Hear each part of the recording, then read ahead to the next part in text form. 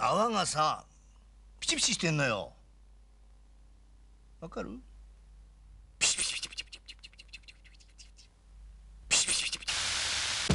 サントリーホップス生180円で新発売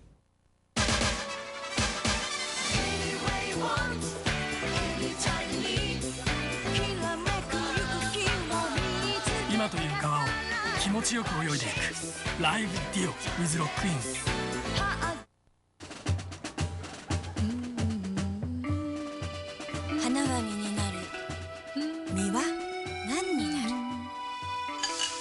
カクテル新発売サントリー果実酒房。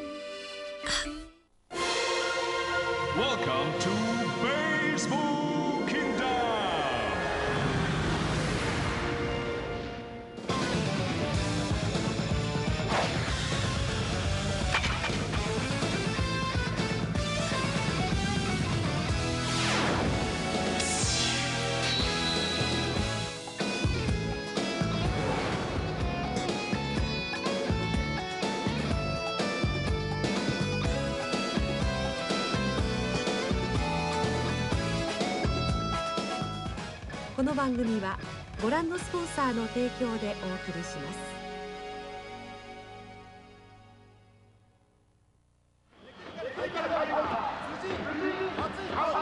待ちに待った95年プロ野球ペナントレースの開幕です。青空が覗いています。今日はもう満員間違いなしの西武ライオンズ球場。今年は4月の声と同時に開幕です。今清原の名前が呼ばれて今守備位置につく清原和博です。選手の心をがっちり掴んで離さない本音の新監督東尾ライオンズ。一方史上空前の選手補強をしまして世界のホームランキングが率います王大栄。新しい歴史を刻んでいく両チームの激突。まさに開幕にふさわしいカードとなりました。そしてご覧ください。往年の背番号21番から78番になって今年新監督の東尾さんが今投球練習を行っています。実はこれから始球式を行うのは誰あろうこの東尾新監督なんです。そして打席に立つのがこれまた誰あろう今腕組みをしている王新監督なんです。大下さん今日のゲームも楽しみですがまずはこういう憎い演出ですねそうですね。いよいよ始まりますね。いやー本当にいよいよ始まるなっていう感じでこういうセレモニーが来ますと北別府さんもこの開幕投手も何度も経験なさってますがそうですね、やはり、まあ、今までと違ったオープン戦と違うあいよいよ始まるなって気持ちになりますね。ドキドキしたっていうのはもちろん何度もあると思うんですがうんやはり興奮しますよね、こういうセレモニー見ますとね。そして北別府さんは実はこの始球式で王監督が打席に立つというのは実は先月北別府さんの引退試合で経験なさってるんですよねええ経験したんですけども。あその今王監督がバットを持ってゆっくりと打席に向かうところです V9 時代の導入としてどうですか黒田さんねえ、本当の懐かしいというかね。なんかこう昨日みたいな感じがするんですけどね。だいぶ時が流れましたね。なおこの始球式はセレモニーではなくて本当に真剣勝負となります。どちらかが決着つくまで行われます。そして今ご覧いただけますでしょうか。吉永小百合さんです。去年の開幕式では実はこの吉永小百合さんに始球式をしていただきました女優の吉永小百合さんは大の西武ファンとしても皆さんもご存知だと思いますが今年は西武ライオンズの優勝を記念いたしまして今年の始球式のボールを今主審の山崎からもらいまして東尾新監督に渡しにマウンドへ小走りで行くところです。東尾監督マウンドで待っているのではなくてマウンドを降りてボールを受け取りました。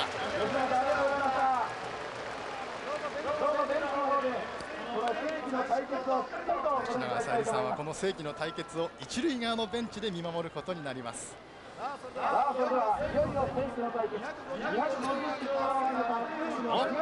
外野に下がれ下がれ。東尾新監督。大シフトですね。ちょっと待ってください。サードももうセカンドの右まで行っています。初球を打った。一人はどうだ？ライトのジャクソンのクラブ。いやー初球打って見事に打った。なんか往年のフォームを思い出してくだいますねやっぱりね。まあ1球ぐらい見送るんじゃないかと思いましたけどね、えー、初球はあのスライダーか何かで投げてという話ももしかしたらあったんですけどね北脇さん。そうですね。今のはマシだと思うんですけどもね。初球からストライク入りましたんで。王さんも打ってきましたよね。黒井さん内野が完全な大シフトでしたね今はね。そうですね。さあ素晴らしいセレモニーの後は真剣勝負のスタートです。今500発の花火が西武ライオンズ球場に響き渡りました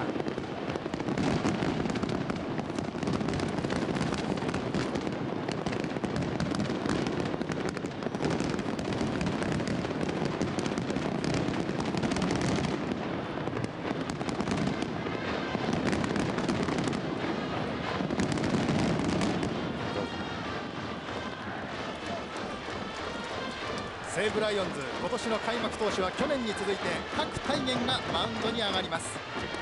ライオンズの守備をご紹介しましょう。キャッチャーは伊藤。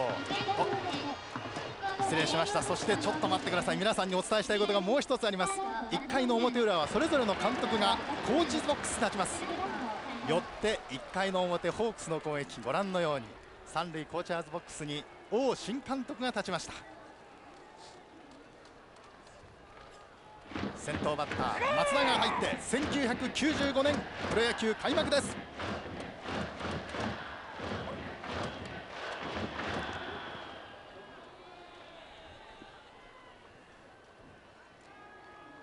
いよいよ始まったそして王新監督がサードコーチにいる。好打者の松永です。2球目を打ってセンター前に抜けていきました。今年の開幕初ヒットはこの大英の松永から生まれています。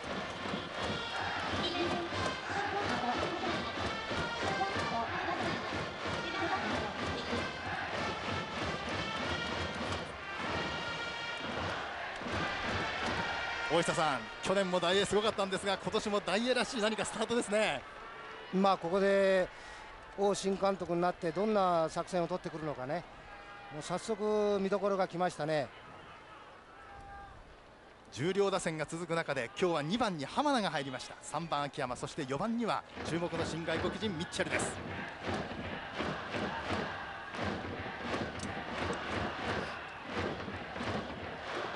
今日は僕はコーチボックスに立つが何もすることはないよと言っていました王監督。1回の表いきなりランナーが出ました。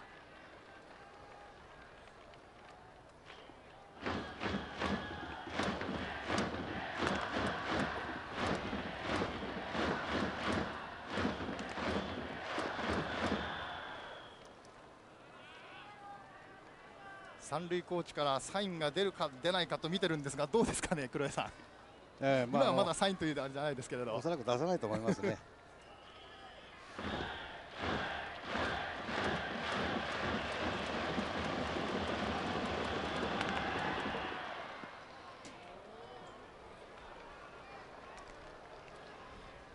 3番ネクストバッターズサークルには秋山。一昨年までこのライオンズのライオンズ球場本拠地として西武ライオンズのユニフォームを着ていました。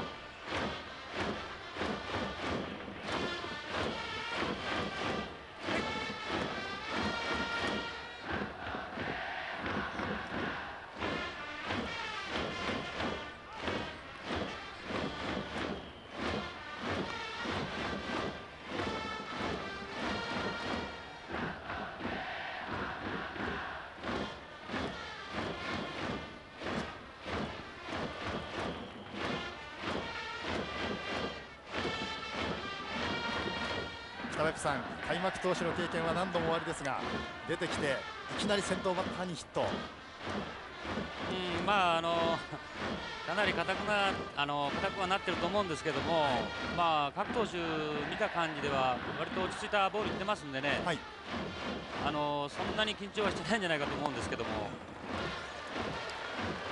ストレート空振りツーエンドワンとなりました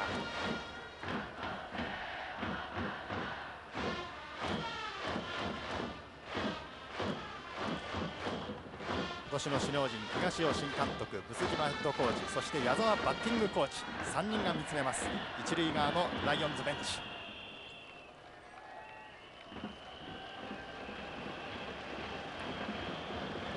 キャッチャーは外。ボールが中に入ってきましたがファールです。そして今日もバックネット裏には球種チェックで松沼正幸さんに入ってもらってますが松沼さん？はいよろしくお願いします。よろしくお願いいたします。まあ角の調子ちょっと硬さが見られますけどね、はい、あのー、本当に北別府さん言ったようにいいところへは行ってますよね。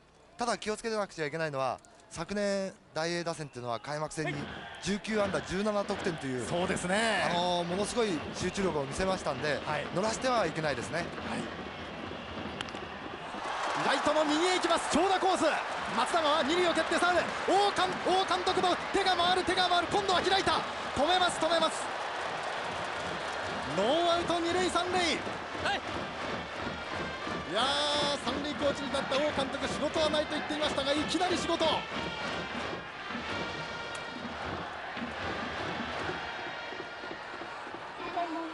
ょっと見てみましょう。よしいいぞいいぞ。回ってますね右手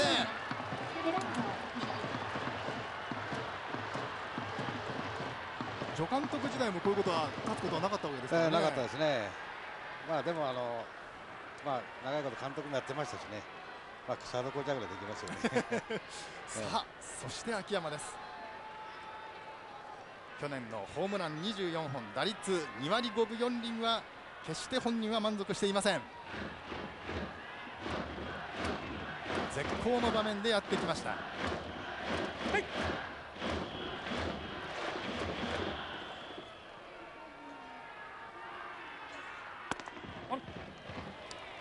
ここはあれでしょうね。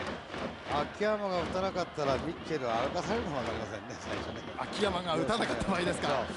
空いてますからね。3番の秋山もそうなんですが、ネクストバッターサークルに巨体をすらせています。ミッチェルも。これ目線に入りますよね北別府さんピッチャーとしては。うんそうですね。やはりこのバッターをまず取って、えー、まだミッチェルっていうのはあの各投手もわからないと思うんで、はい。えー、探りながらなんとかまあ勝負するって感じでしょうね。まあそれとね西武あのライオンズのね両外国人選手はね、はい、ミッチェルのことをねもう歩かすしかないんじゃないかっていうことをね、ピッチャーに言ってるらしいんですよね。もうライオンズにやってきている選手も、まあジャクソン、オーレですからメジャーもバリバリ級なんですが、さらにその上を行くランクのミッチェルですからね。だからデッドボールかね、はい、デッドボールかそのフォアボールじゃないかということをね言うらしいんですよ。えー、それは冗談と取ったとしてもですね。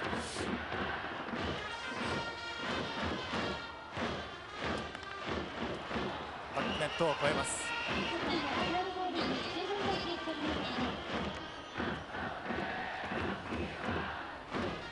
大下さん、東尾新監督もいきなりこういう場面になりました、まあ、ある程度は予測してたでしょうから別にどうってことはないんですね。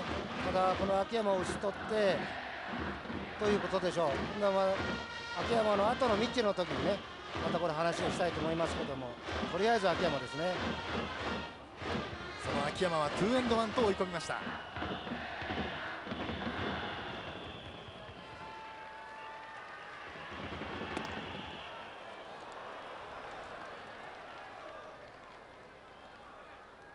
去年のこの郭泰源と秋山の対戦は11打数3安打。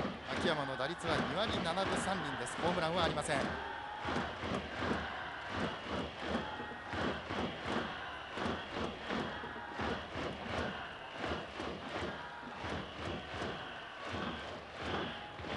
ち上げから2人のランナーを背負います。角大元スライダーが入りません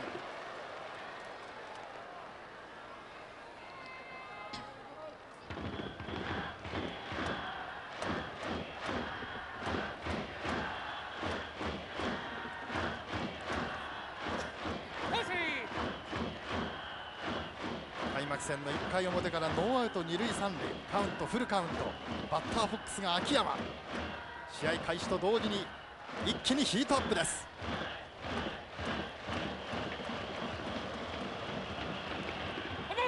ファールボールです。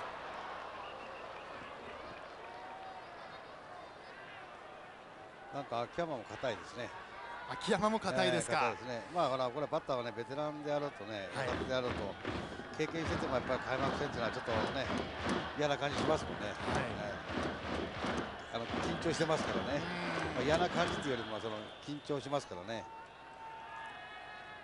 開幕投手も硬くなるという話が北別府さんにもありましたが、初打席ですからね秋山も7球目ですうんと外れたボール。ノーアウト満塁です。ノーアウト満塁よりによってこんな形でデータがない新外国人のミッチェルを迎えます。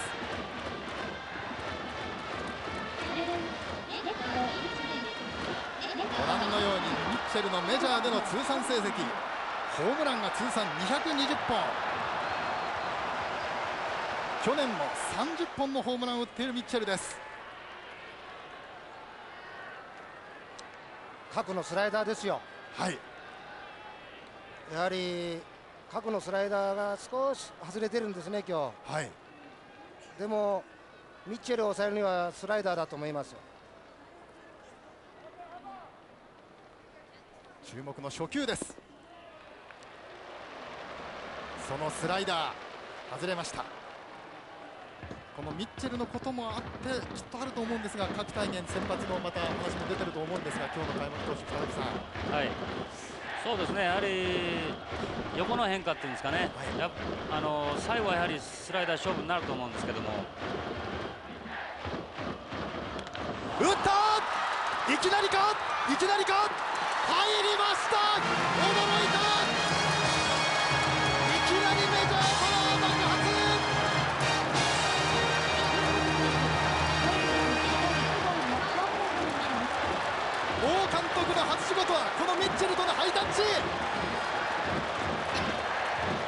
いきなり満塁ホームラン4対0です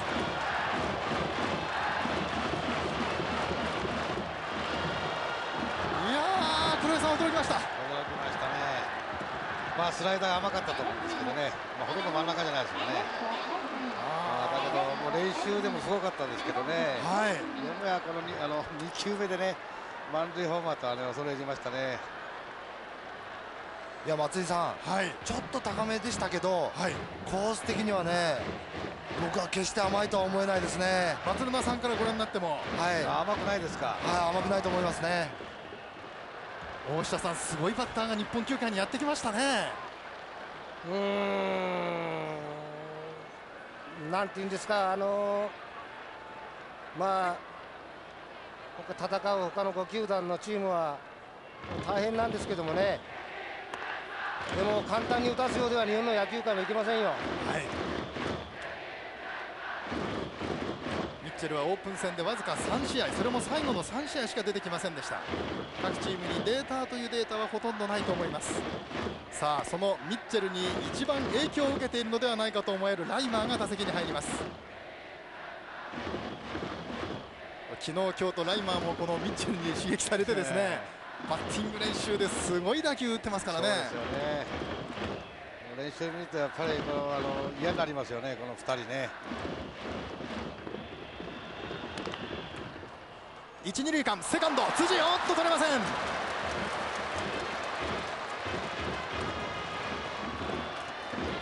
か今ね、はい、この辻の動きでもなんかミッチェルのね後遺症が残ってるようなまだ何かあのナインがうわすごかったなという動揺が残ってるんですかね。そんな感じのね今の動きでしたよね。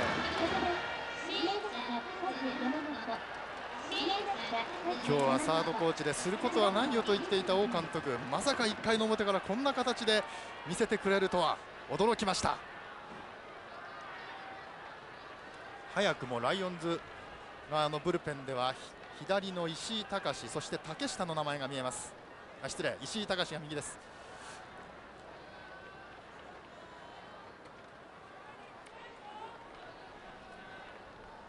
ターボックスは勝山本。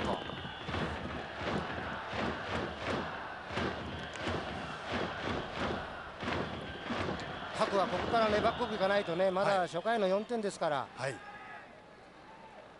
まだまだとわからないんですからここから先の各のピッチングというのは各っていうのは打たれ出しても止まらないですからね、ここから粘っこくいってほしいですね。それはもうまさしく東尾新監督の心境ではないかと思います。マスクをかぶる伊藤。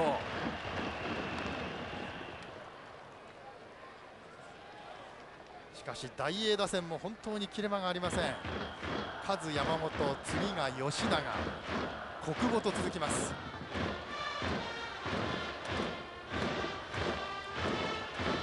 点入ってまだアウトは取って取られていません。大英ホークス。ノーアウトランナーが一塁。この回早くもヒット4本です。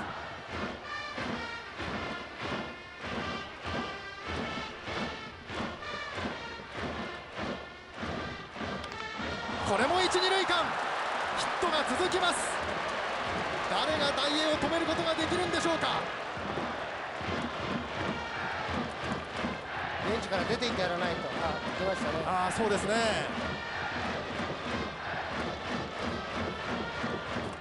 森重和ピッチングコーチが行きます。確かにもうミッチェル後遺症といいますか北ペップさん。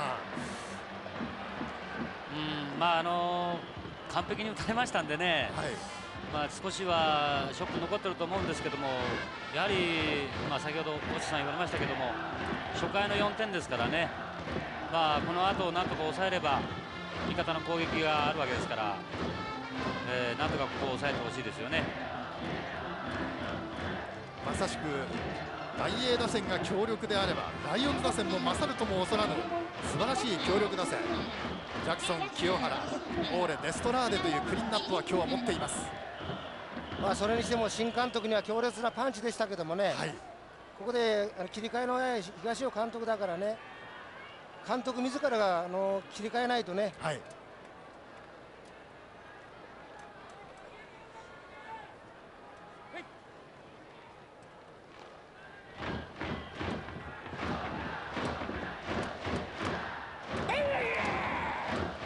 ピッチャー各そして内野手ベンチもみんな含めて切り替えて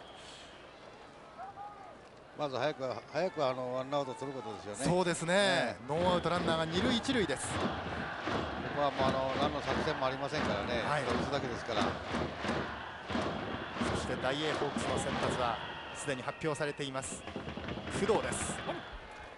松井さん、このミッチェル満塁ホームラン打ちましたが、はい、飯村さん、はい、そのミッチェルがですねベンチ裏に戻ってきて一番最初に握手したのがこの先発の工藤投手なんですね。で工藤投手がもうそろそろピッチング練習しなきゃしなくていいのかななんて言ってたんですけれども、はい。その話しかけた相手の松永選手がまあもう一回回ってくるだろうからねなんていう話をしてまして、もうこちらはノリに乗ってますよ。いやーもう本当になんとでもって感じですがこれは Z2 コース。ショートからそしてファーストに回っていきましたダブルプレーアウトを2つ一気に取りました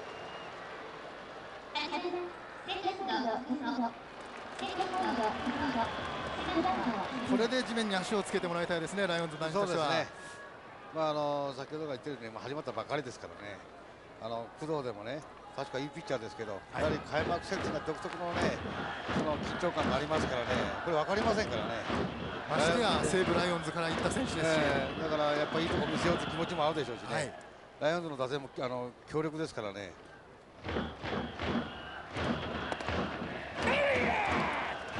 この小久保が一番大事なんですよ、ノーアウト一塁でうまくショートゴロでゲッツー取った、ツーアウトサードになった、これを打ち取ると、また西武のナインもよしということになりますけども、ここで打たれると、あーっというケースですから、一番大事な場面ですね。打ち上げましたバックネットを越えます。また決して侮れないバッターが立っているわけです。2年目の国宝このオフの間にはハワイのウィンターリーグで MVP を取って帰ってきました。オープン戦も絶好調。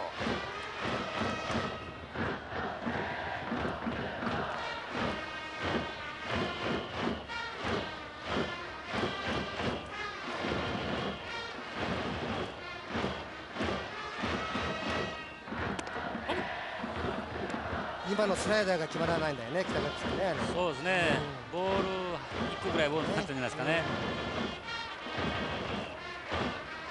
先ほどから本当にこのスライダーがストライクっていう感じがねそのあたりにやはりこのマウンドの各投手の表情にも出ているかとも思いますあーそのあたり森重キャズピッチングコーチと東尾監督が話をしていますどうでしょう？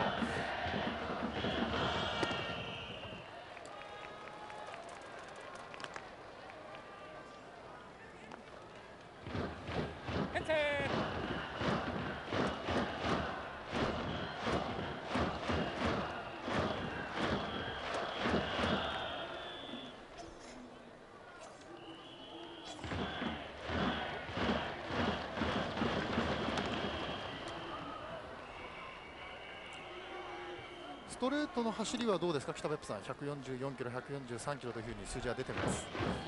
うんまあ、スピード自体は出てますけども、やはりあの取りに行ったスライダーっていうのがストライクになってませんので、えーその分あのストレートいってるんですけどもそのストレートがちょっと甘く入ってますよね。こ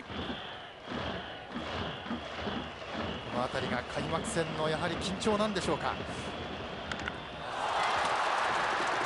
止めることができません。また1点が入りました。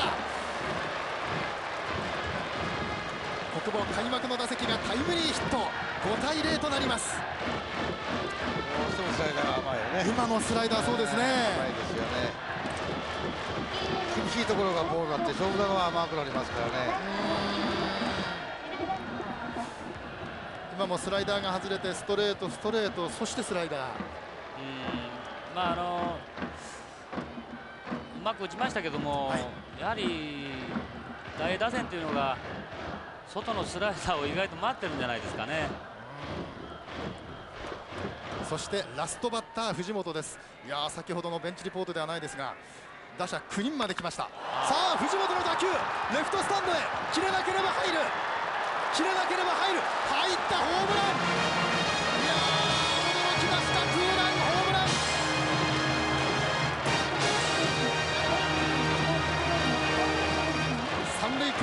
王監督。こんな形で1回の表の攻撃を迎えることになるとは王監督も予想していたんでしょうか。7対0です。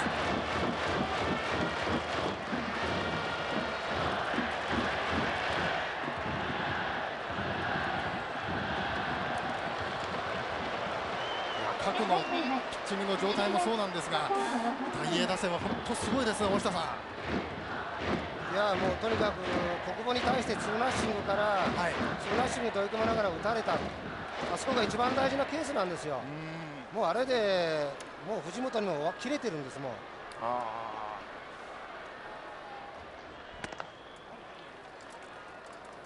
さあそしてミッチェルの話の時にもう1回打席が回ってくるよと言っていた松永選手。まさしく1回の表もう1回打席が回ってきました